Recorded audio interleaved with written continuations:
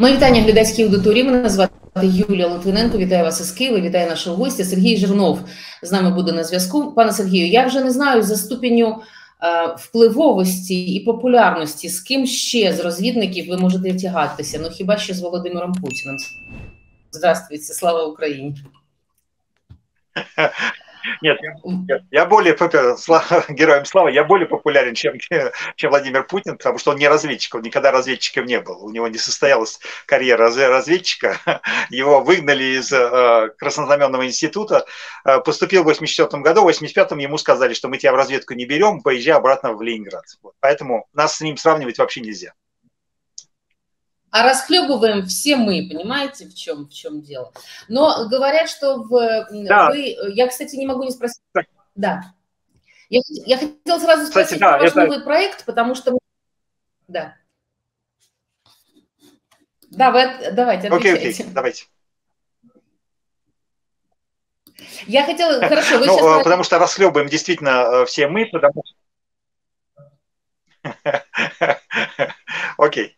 А, значит, расхлебываем все мы, потому что в 1985 году ему а, дали характеристику, что этот человек опасен для КГБ и для службы внешней разведки, потому что он способен принимать опасные решения для себя и для службы, и не взяли его. Вот, и если бы его тогда выперли еще из КГБ, тогда, может быть, мы его вообще бы не увидели. Ну вот, кстати, я, я за несколько секунд до начала нашего разговора сообщу зрителям э, такой в качестве э, информационного шпионажа спросила у Сергея о новостях. Может быть, какие-то новости мы не увидели, так называемые новости с продолжением, которые мы очень любим. И Сергей меня спросил, знаете ли вы про открытие памятника Дзержинского в Ясенево, а я ведь ничего не знаю. А что, за, что бы это значило? Да, значит, э, прошла информация, причем довольно любопытная информация, ее широко осветили, РИА Новости там опубликовала, значит, такая фотография большая, вся, судя по всему, коллегия СВР стоит э, перед э, так называемым Y-корпусом на территории Ясенева. Это первое здание, такое стеклянное здание, по-моему, восьмиэтажное или семиэтажное. И там поставили чуть-чуть уменьшенную копию памятника Дзержинского, который стоял раньше на площади Дзержинского, то есть на Лубянке, вот, которые э, снесли э, во время, э, сразу после путча в августе 91 года. Вот, ну, ее потом, значит, отвезли в какой-то там музей, и она где-то там лежала. По-моему, я ее видел, знаете, где?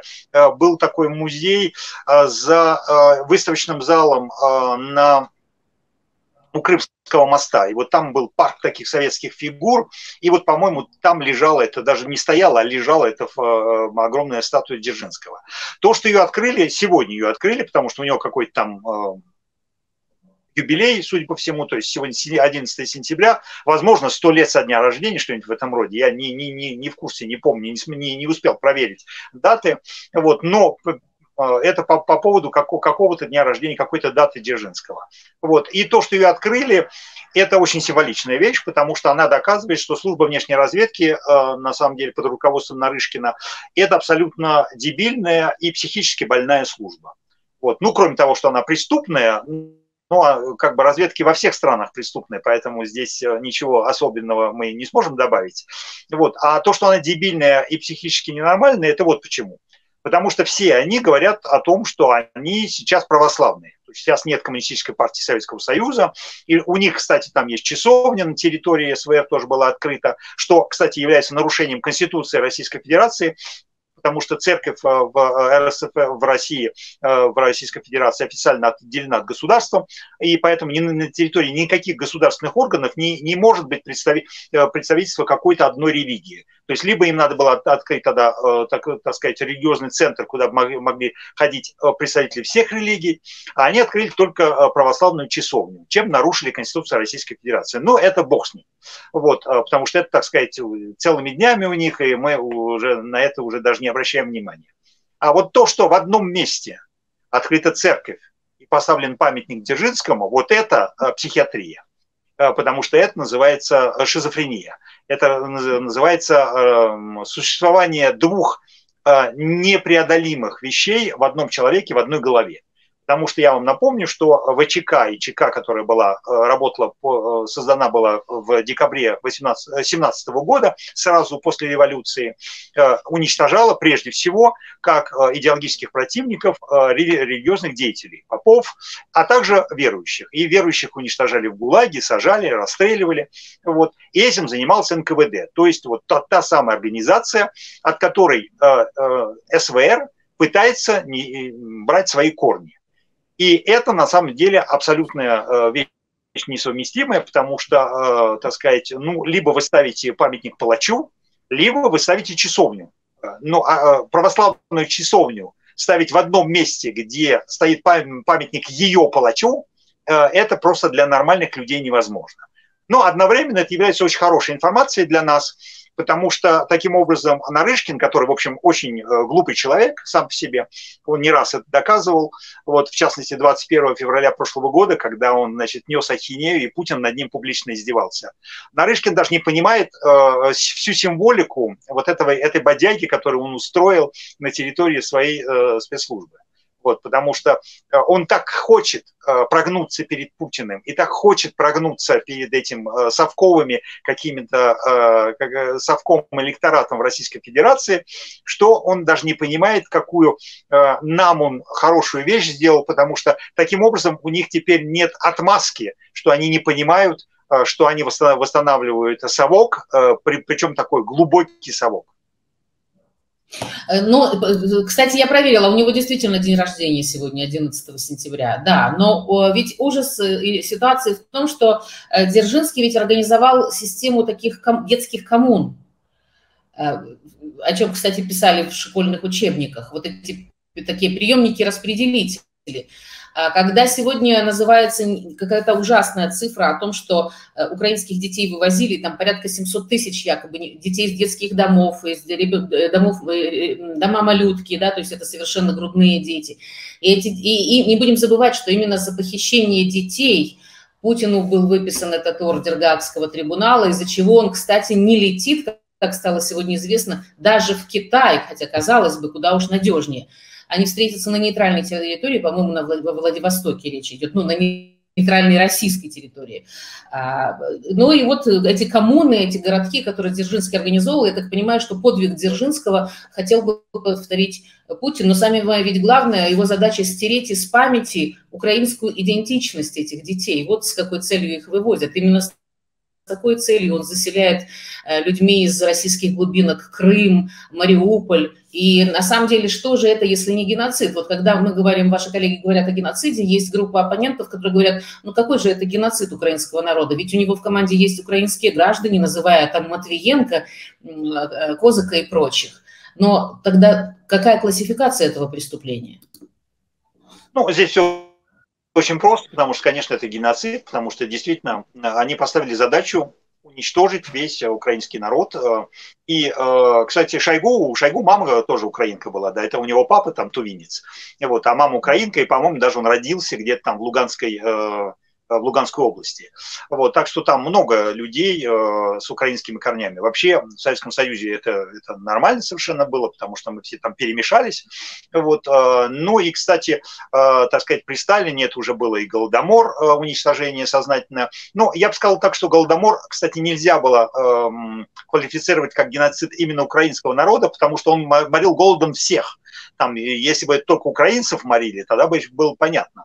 Вот. Ну, понятно, что в украинском, на территории украинской тогдашней СССР э, э, это было, э, касалось украинцев. Но в других областях был такой же голод, и там также умирали люди, и там на Поволжье, вы помните, голодающим Поволжье, а Поволжье это не Украина. И вот эти голодающие там тоже ели детей, там тоже было, значит, людоедство от голода. То есть это, так, так сказать, общее Э, общая беда, общая катастрофа, э, которую сделал, сделал Сталин. Но то, что Путин делает, эм, э, уничтожает целенаправленно украинский народ, это для меня, например, совершенно понятно.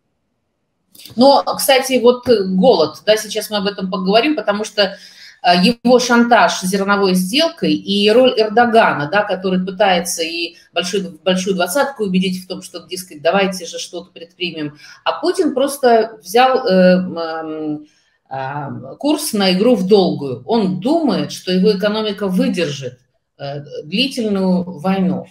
Так ли это? Ну, во-первых, да, да, безусловно, он надеется, он надеется, что э, что-нибудь там э, снизойдет с небес, как у него часто это бывало. Потому что это, кстати, его черта характера. То есть он не любит ничего решать, он надеется, что все само рассосется и все само решится. И у него бывали э, довольно большие периоды в жизни, когда именно так и происходило. Вот, у Эрдогана есть отдельный разговор, потому что Эрдоган играет и вашим, и нашим. И, кстати, он заключил с Россией отдельную сделку на поставку миллиона тонн зерна российского э, Турции. И в этом смысле и его вполне удовлетворяет э, и так, такой, вариант, э, такой вариант сделки. Но он одновременно пытается, э, так сказать, себе заработать очки на международной арене, и здесь, конечно, он продвигает историю с украинским зерном под эгидой Организации Объединенных Наций, но пока что это немножко пробуксовывает. А Путин, строго говоря, ведь ему абсолютно, ну, если по-народному сказать, пофигу, вот, потому что он, в общем, отказался от очень больших других э, экспортных э, вариантов. Он отказался от экспорта газа в Европу сам по себе, потому что он сам сломал союз «Газпром» и потерял таким образом 155 э, миллиардов кубических метров в год сейчас он там компенсирует, там примерно там 10-15 миллиардов э, все-таки экспортируется, но вот так, такого объема он не может компенсировать ничем. Даже если э, уже говорят, что в будущем году там в Китае будет, допустим, 22 миллиарда экспортироваться, а в 2025 году, э, дай бог им, э, как говорит Путин, э, 30 миллиардов, но все равно не компенсирует 155. Так что в этом смысле, если э, вы ищете какую-то логику экономическую, то ее у Путина нету. Ему, в общем, грубо говоря, наплевать на все это дело. И вот поэтому, кстати, он и позволил себе, э, так сказать, взбрыкнуть э, на встрече с Эрдоганом в Сочи. А вы думаете, они ни о чем не наговорились? Просто так странно начались подвижки на границе между Арменией и Азербайджаном, и э, это породило домыслы о том, что все-таки были какие-то договоренности. Вот это противостояние, как вы оцениваете вообще, чем оно может завершиться? Ну, там, э, если были договоренности, то они не в пользу Армении, да, потому что Российская Федерация, грубо говоря, бросила Армению в этом деле. Да. Э, дальше э, мы не будем вдаваться сейчас в конфликт и, и говорить, кто прав, кто виноват, потому что каждая из сторон говорит, что она, она права, вот, и у каждой из сторон есть аргументы для подтверждения этой правоты или неправоты своих контрагентов. Но самое главное другое, что Армения рассчитывала на ОДКБ и рассчитывала на Российскую Федерацию в противостоянии с Арменией. Армении. А Армения помогла Турции, таким образом в 2020 году осенью э, Азербайджан фактически одержал победу и э, навязал свои условия но одновременно еще присутствуют российские какие-то миротворцы, так называемые, да, потому что там, где российские миротворцы, там э, мира, кстати, чаще всего не бывает. Вот. Но э, армянам это рано, рано или поздно надоело. Они поняли, кстати, что Путин уходящий политик и очень слабый политик. Они это поняли, э, скорее всего, после Пригожинского мятежа. И сейчас Армения переориентируется очень резко, то есть э, она отозвала своего постоянного представителя из ОДКБ, потому что она поняла, что эта организация не работающая и умирающая, что она закончит свое существование, скорее всего, в следующем году, когда из нее выйдет Армения и Казахстан, а возможно еще несколько других стран. Вот, э, и объявила о том, что вот на этой неделе есть, будут проводиться учения с Соединенными Штатами Америки совместные, но они не очень большие, там по 75 человек со стороны Соединенных Штатов Америки и 180 человек со стороны э, Армении, то есть, грубо говоря, э, рота американцев и две роты, э, значит, армян, и, в общем, это такие маленькие, но символически, конечно, это, это вызвало огромное недовольство Москвы, значит, Лавров по этому поводу высказался уже, и там грозятся, что Армении поплатится за это, вот. Но Армения понимает, что Путин не может сейчас открыть еще второй фронт в Армении, потому что у нее не хватает солдат на Украину, а если он еще попытается открыть какой-то какой фронт в, в Армении, то он таким образом э, проиграет и там, и там. Вот. И они, а вот... Э, возможно, используют, используют этот момент, чтобы как раз урегулировать со своей стороны этот конфликт. Ну вот, а вот тут теперь вопрос. Понятно, что арсенал военный его истощен, именно поэтому, вероятнее всего, будет подписан договор о поставке китайского вооружения, насколько насколько действительно Си Цзиньпинь пойдет на это. И вы, я хотела бы услышать ваш комментарий. И а, ваши коллеги из Моссад сегодня сделали сенсационное заявление о том, что Иран планирует передать Российской Федерации ракеты малой и эм, дальней, дальней малой, малой и средней дальности. И это говорит о том, что это при том, что к беспилотникам, да, которые они, о которых они, поставку которых они уже подтвердили. Заявление это делает директор Моссад Давид Барнеа. И он говорит о том, что мы боимся, что русские э, передадут, э, я процитую українською, ми боїмося, що росіяни передадуть іранцям натомість те, чого їм не вистачає.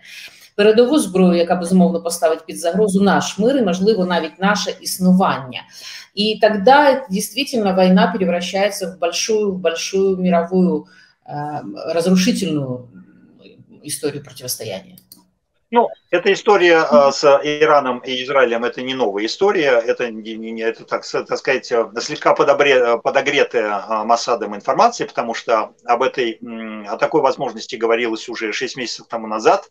И э, тогда, кстати, когда тоже израильтяне слили эту информацию, и э, сам ее слив э, заставил иранцев пойти на попятную, и россияне, значит, они там свернули немножко переговоры, а сейчас обратно эта информация возвращается, потому что, скорее всего, переговоры закулисные продолжаются, потому что там вообще э, шел разговор, конечно, о гораздо более серьезных вещах, потому что у России не хватает ракет, у иранцев они есть, и Россия в обмен на эти ракеты могла бы вообще поставить э, какую-то Э, составляющую ядерную Ирану. Ну, если не прямую, вот как в Беларусь, там, тактическое ядерное оружие, потому что это вызовет огромный мировой скандал, вот, то, по крайней мере, какие-то какие технологии, которых сейчас у иранцев нет да, и помочь им какой-то там вот их военной иранской ядерной программе. И по этому поводу Масад опубликовал эту информацию, чтобы привлечь к ней еще раз внимание. Вот. А то, что вы сказали по поводу поставок китайских вооружений, я сомневаюсь, что китайцы пойдут на это напрямую. Вот, но они, скорее всего, сделали так, потому что они так же, как и Эрдоган, и вашим, и нашим, и поэтому, скорее всего, вот эта поездка Ким Чен Ына на э, Восточный э, форум, куда уже Путин уже приехал во Владивосток, и, значит, э, туда едет теперь на бронепоезде этот самый внук Ким Чен Ира, вот, и доедет туда, судя по всему, там завтра, и встреча намечена их на 13 сентября, на среду, вот, и, скорее всего, вот там будет что-нибудь Северной Кореей. Но поскольку мы понимаем, что Северная Корея без китайского согласия ничего не делает, то вот, скорее всего, это будет вот так. То есть китайцы напрямую сами поставлять не будут, но позволят Северной Корее что-то там заключить с Российской Федерацией. То есть вот, мне кажется, вот такой вариант возможен. Теперь варианты все-таки завершения войны. Э, мы говорим о том, что выборы, вероятнее всего, в Украине пройдут, и президент Зеленский подтверждает это, это всячески. А, ну, во всяком случае, он говорит о своей готовности не просто провести выборы, но и переизбраться на, во второй срок. А, это не похоже на, на спецоперацию, потому что Путин не нашел другого способа по устранению президента Зеленского. Вот теперь он попытается, вероятнее всего, не без помощи агентов своего влияния. Я вот вижу тут... Э, кстати, в, в бытность вашей работы в спецслужбах ИПСа, вот эти информационно-психологические операции, они уже были тогда в ходу или это новый термин. Нет, Я это, почему а, спрашиваю, ну, потому... термина такого не было, а, вот тогда, когда я там служил. А, но работа такая была, то есть у нас была служба активных мероприятий, это называлось в то время активные мероприятия. Вот. И вот это да. то, то же самое, что и ПСО. Да, ну это, наверное, Деза, запустить Деза. Вот такая Деза появилась сегодня о том, что якобы, причем кому, кому, как вы думаете, дали это озвучить? Э, бывшему депутату Украины, сбежавшему в Россию, э, Илье Киеве, который утверждает, что у Зеленского и его семьи, а также у главы офиса Ермака есть воен... Э, и у главы военной разведки Буданова есть британское гражданство, а главком ВСУ Залужный и глава фракции «Слуга народа», по словам Киева, являются гражданами США. Вот он выходит с таким заявлением. Что это, если это не спецоперация? Да, да, это спецоперации, конечно, это ИПСО, это, конечно, э, такая дезинформационная э, кампания, и абсолютно вы правы, это э, слили через вот этого сбежавшего депутата, который регулярно появляется, кстати, на российских каналах. Вот, это все дешевые дешевый слив, потому что, естественно, я в это не верю ни одной секунды, потому что, в общем, там серьезные люди у вас в руководстве находятся, они понимают, чем они рискуют политически, ну, прежде всего Зеленский, да, потому что Буданов, строго говоря, ничем не рискует, вот, э, потому что он в любом случае может сказать, а для разведки это мне нужно. Мне нужно иметь гражданство, чтобы э, вести э, правильную разведку. Вот. А вот для Зеленского, конечно, это совершенно неприемлемый вариант, потому что э, он политик. Э, вот. Другое дело, что вся эта история с выборами, э, мне кажется, что Штаты здесь не очень э, э, такую прозрачную игру ведут потому что они давят на Украину, чтобы были проведены эти выборы, что является, в общем, э, строго говоря, нонсенсом для любой развитой страны, цивилизованной страны, прежде всего для Соединенных Штатов Америки, но и у нас здесь, в Западной Европе, потому что страна, которая ведет войну, в ней вообще-то э, неправильно проводить выборы. Вот у нас, когда был ковид во Франции, у нас э, отменяли все выборы муниципальные и региональные выборы, потому что понятно, что если в стране... Ведь выбор это, э, выбор это не, не просто вот пойти куда-то там в школу в какую-нибудь там, где организован избирательный участок, э, дойти до урны и бросить туда какую-то там бумажку за кого-то. Выборы – это кампания, в которой должны участвовать свободно все население, свободно все кандидаты, иметь возможность доступа к средствам массовой информации, рассказа о своих, о своих программах, сравнения для, э, для кандидатов э, и для избирателей. И самое главное, что избиратели должны быть спокойны, когда производят выборы. Они не должны ждать, э, что на них упадет ракета, когда они будут значит, и, и, идти или уже находиться в избирательном участке. Вот. И, строго говоря, в воюющих странах политика замирает, и, кстати, это было э, так сказать, консенсус был в Украине, что пока идет война, сейчас э, не, не место для политических дрязг и выяснения отношений, и все это дело надо будет тогда, когда Украина победит. Когда победит, тогда вы можете выяснять отношения с Зеленским столько, сколько хотите, а также с Порошенко, там, с Тимошенко и с кем угодно.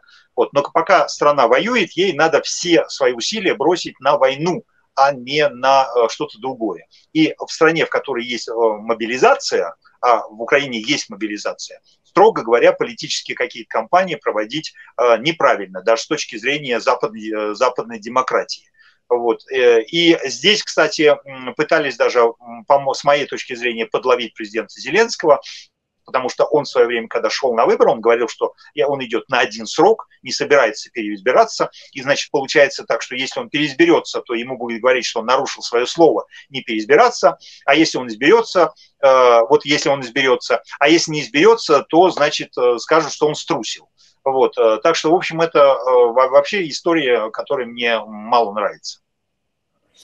А, э, еще последний вопрос задам. Я знаю, что да, как вы невероятно популярны и востребованы у вас следующее интервью. Будем спешить. Значит, я хотела бы, вот эта деликатность, которая была в, продемонстрирована Большой двадцаткой в их финальном коммунике.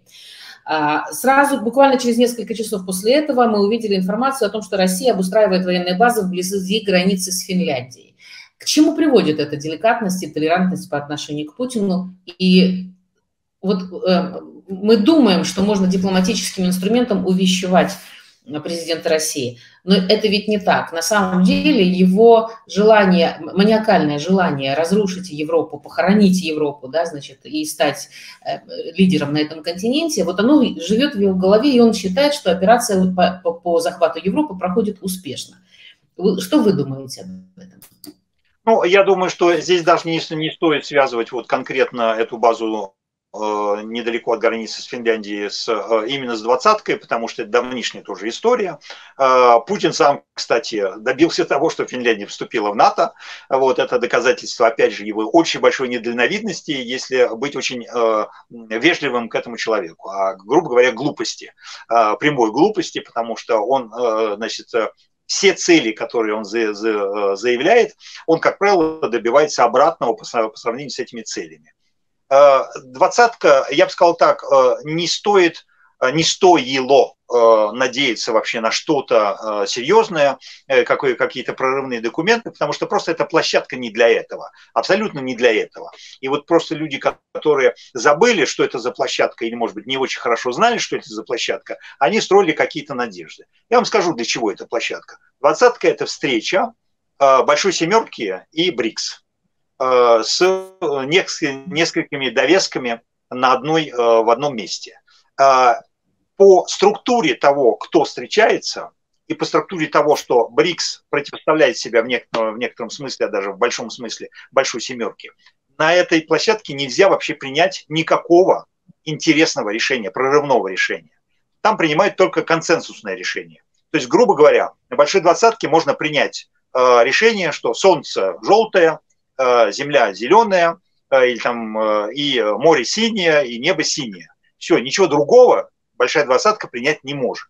Э, это просто, э, это точно так же, как Генеральная Ассамблея Организации Объединенных Наций. Вот еще какое-нибудь там заявление принять еще какое-то можно на Генеральной Ассамблее, а на Большой Двадцатке точно ничего принять нельзя. И поэтому вот кто-то говорил, вы знаете, кстати, Штаты говорили, да, а, потому что представитель США, представитель Госдепартамента сказал, что вы знаете, у нас была сложная задача, вот да, нам пришлось согласиться на то, чтобы вы сняли там какие-то упоминания о России как стране-агрессоре во время, а, значит, этой войны а, против Украины. Но у нас был выбор такой, либо никакого документа, либо вот, вот этот документ такой консенсуальный. Вот, на что я отвечаю, что лучше было бы никакого документа, чем плохой документ. Вот, потому что хорошего документа двадцатка принять не может, это не та площадка, где принимается хороший документ. Вот, а принимать очередной плохой документ, который никому, кстати, не нужен и ни, никому ничего не обязывает, и нужен только был Российской Федерации сказать, вот видите, нас не осудили. Да, вот там, там, там было все обтекаемо, что все стороны призываются жить дружно и быть там хорошими за, за мир, за дружбу и за, за улыбки милых. Вот. И по этому поводу, строго говоря, конечно, двадцатка это такая э, нефункционирующая организация. И, кстати, БРИКС э, на своей последней сессии, когда принял, принял решение пригласить еще новых шесть членов БРИКС, э, ведет все, все к тому, что двадцатка просто умрет как, э, как международная площадка. А, хорошо, последний, вот теперь точно последний вопрос. Я не могу вас не поздравить с началом вашего нового проекта. Вы подводите итоги в соавторстве с неизвестным нам генералом. И зрители, и зрители э, генералом, скрывающимся под именем Виктор Михайлович, зрители просили меня спросить, э, спросите, пожалуйста, у Сергея Жирнова, кто скрывается под именем Виктор Михайлович? Внимание, варианты ответа.